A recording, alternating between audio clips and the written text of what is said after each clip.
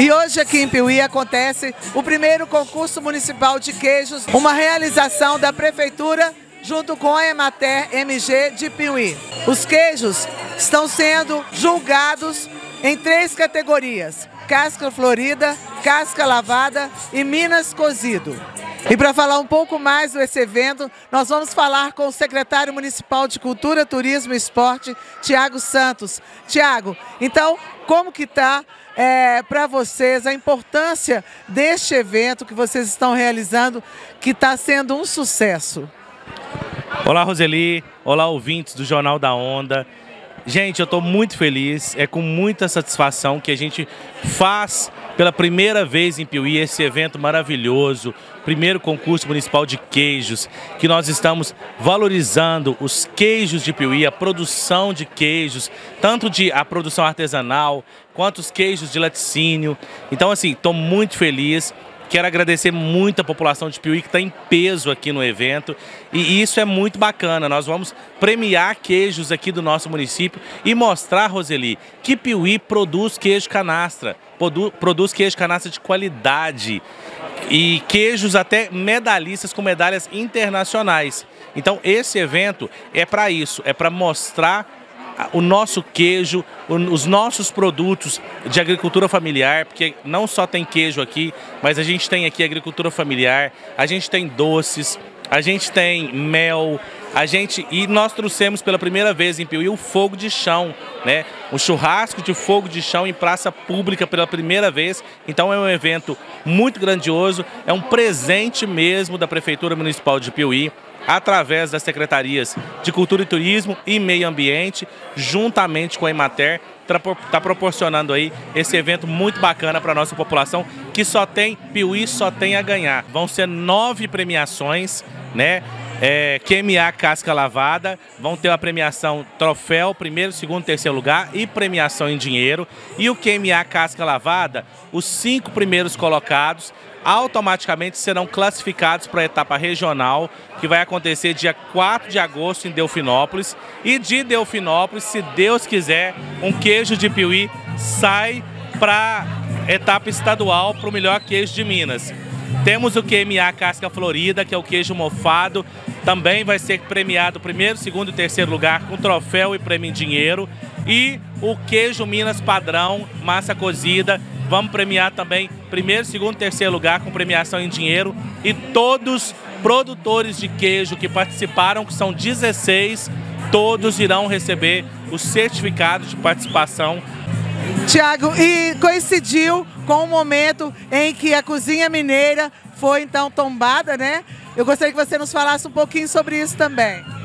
Isso mesmo, né? A nossa cozinha mineira, patrimônio agora imaterial. Então, assim, isso é, isso é muito bacana, isso é muito lindo, porque Minas Gerais, Roseli, hoje é primeiro lugar em turismo. Né? Hoje, as, depois da pandemia, as pessoas elas estão procurando vivência e experiência. A pessoa que mora na capital, nas grandes capitais, nas grandes cidades, eles querem sair daquilo ali e vir para um lugar que tem comida boa, que tem tranquilidade, que tem paz, que tem liberdade.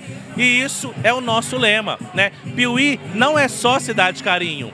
Piuí é a cidade da liberdade, é a cidade da gastronomia, a gastronomia que tem um lado da canastra, um lado do Lago de Furnas. Onde que você vai ver um evento desse em praça pública que não tem uma ocorrência, sabe assim, maravilhoso, a família toda aqui confraternizando. Então, isso é, é, é, o turismo da nossa cidade e é a tecla que a gente vai bater. Enquanto a gente estiver à frente do turismo, a gente vai trabalhar para mostrar isso para a nossa população e para o nosso turista. E em breve nós iremos fazer um concurso municipal de cafés, porque nós somos a cidade que mais produz café da região inteira. Então é isso, estamos valorizando nossos produtores e mostrando o nosso potencial turístico para todo mundo que está aqui no evento. E eu estou aqui com Carlos Eduardo Oliveira Bovo, ele que é o coordenador regional, coordenador técnico regional da Emater MG. E ele vai nos falar um pouco mais sobre este evento, a importância deste evento para os produtores de queijos que estão cada vez mais se profissionalizando, né, Carlos? Boa tarde. Boa tarde. Realmente esse evento é um evento importante para o produtor que valoriza a produção, o trabalho do produtor no campo, né?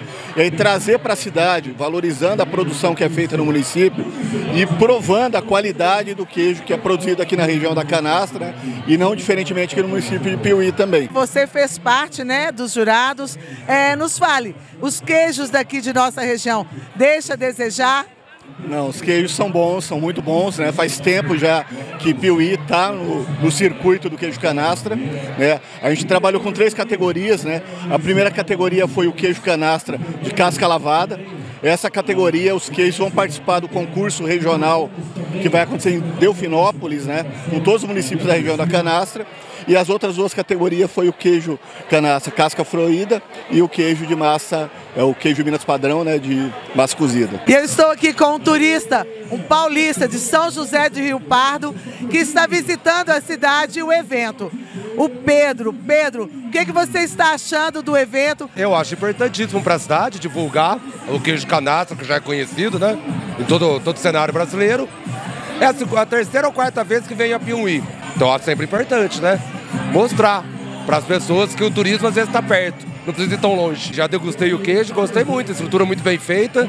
Tá de parabéns, tá tá de parabéns. E eu estou aqui com o prefeito, doutor Paulo César Vaz. Prefeito, primeiro concurso de queijo de Piuí, queijo canastra. A gente já sabe que Piuí tem ótimos produtores. E agora, esse concurso. Qual a importância para Piuí para os produtores aqui de nossa cidade? Olá, Roseli, todos da Onda Oeste. Eu acho que é sedimentar Piuí como um polo da nossa região, produtor do queijo canastra, sedimentar a nossa região no cenário mineiro e também no cenário nacional. Esse é o intuito desse evento. A Emater esteve junto com o Tiago, que é o secretário de Cultura, e a sua equipe lá no gabinete da Prefeitura. Esse evento foi organizado muito rápido, tem uns 15 dias que a gente pensou em tudo isso e é um sucesso, né? Vocês estão aqui conferindo, fazendo a reportagem, a cobertura do evento. É um sucesso de público, é um sucesso de vendas de quem está aqui expondo seus produtos, mas a nossa real intenção, além de tudo isso que vocês estão vendo, é sedimentar a Piuí como um grande produtor do queijo canastra e exportar esse queijo para vários lugares do país, é, do, do mundo, né? Desculpa e sedimentar a nossa região como o selo, com o selo canastra. A gente já sabe que Piuí já é, é o café, já tem o café como grande riqueza e agora o queijo vem acrescentar. Isso, é, há um movimento muito forte, né, por pessoas que entendem muito do assunto, de transformar Piuí no território canastra, né, que ele está inserido no território da canastra. Tivemos agora um evento, recentemente vocês também estiveram fazendo a cobertura desse evento, de sedimentar também o café do território canastra. O queijo já é mais consolidado, o café também vai se consolidar, assim como vários e vários outros produtos alimentícios. Então essa é a intenção desse evento. Estou muito orgulhoso da equipe, do Tiago. Quando eu falo Tiago, que ele é o secretário, mas de todos os funcionários da prefeitura que fizeram esse evento ser possível. Os colaboradores, é, a Emater também como parceira desse evento, foi muito bom. Eu estou aqui com a Larissa, ela que foi a vencedora do concurso da casca lavada. Larissa, como é para você ficar em primeiro lugar neste concurso? Parabéns. Obrigada. É muito gratificante estar representando. Eu, eu entendo esse prêmio como uma representatividade de todos os produtores de leite cru artesanal. Então, é um trabalho de anos, né? Fica à vontade. E eu fico muito feliz com toda a minha equipe que me ajuda a conquistar esse prêmio. Obrigada. Eu estou aqui com o Jorge Soares, ele que é da Veredas, toda a equipe aqui. Jorge, como é para vocês ficarem em primeiro lugar com queijo Minas padrão, massa cozida? Nossa, para nós é muito importante, é, é, é, reconhecimento de um trabalho de uma, de uma equipe inteira, né? Muito trabalho, né? Muito trabalho. Mas o, o, consumidor final aqui né, acaba ganhando. Né? É um trabalho que beneficia todos. Parabéns a vocês, parabéns. Obrigada. Vinícius Soares, ele que é da Faz o Bem Orgânico e ficou em primeiro lugar no primeiro concurso de queijo aqui de Piuí com a categoria queijo de casca florida. Vinícius, como é para você receber o prêmio de primeiro lugar? Parabéns. Ah, obrigado, Roseli. É, você sabe da nossa luta, né? Você talvez tenha experimentado nossos primeiros queijos, né? Lá no início. E a gente agora tem pouco mais de dois anos que a gente está produzindo.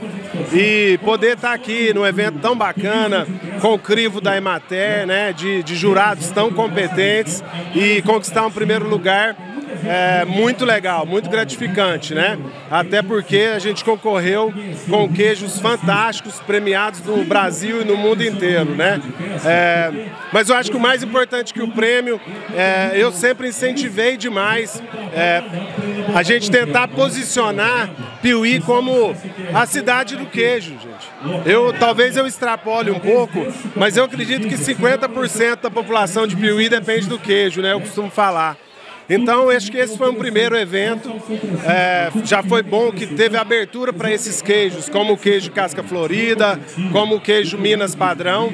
E a gente espera que nos próximos eventos a gente traga mais laticínios ainda, mais produtores, né? Para poder fazer, trabalhar o provolone, o parmesão, né? Todo, todos esses queijos poderem competir, né? A gente está muito feliz. Parabéns, que esse seja o primeiro de muitos. Obrigado, obrigado. Amém.